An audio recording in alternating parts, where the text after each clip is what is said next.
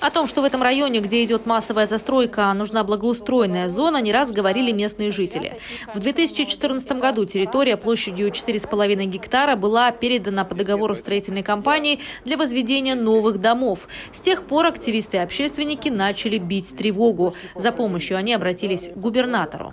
Вот я проехал, конечно, э, и дома тоже, ну, скучными их не назовешь, но достаточно плотненько друг к другу площадки как-то детские, там одну увидел, правда, там что-то такое есть.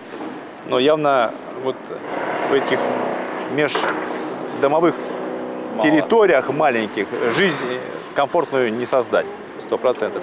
То есть должна быть какая-то отдушина, должна быть э, общая территория, общая общественная территория для этого всего большого микрорайона. Вот в чем смысл. Я здесь с вами абсолютно согласен, что, конечно, вот эта территория, она может быть этой отдушиной для всех.